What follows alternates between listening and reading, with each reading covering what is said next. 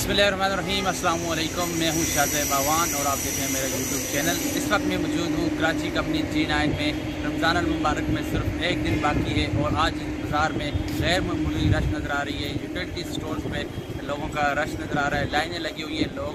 शायद खुर्दों और शायद ज़रूरिया के लिए निकल आए हैं क्योंकि एक तो वीकेंड भी है और दूसरा रमज़ान में कोशिश लोगों की कोशिश होती है कि रमज़ान से पहले पहले तमाम ख़रीदारी की जाए, ताकि सुकून से रोज़े रखे जाएँ।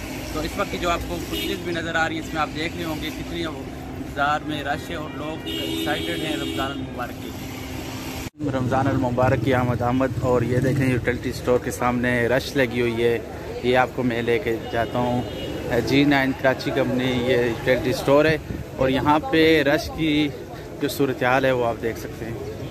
ये लाइनें बनी हुई हैं, लाइनें लगी हुई हैं, ये देख सकते हैं।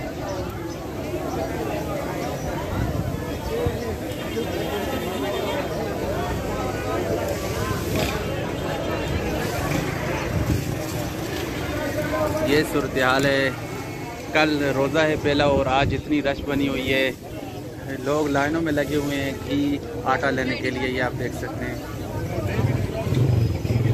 ये सूरत हाल है इस्लामाबाद, कराची कंपनी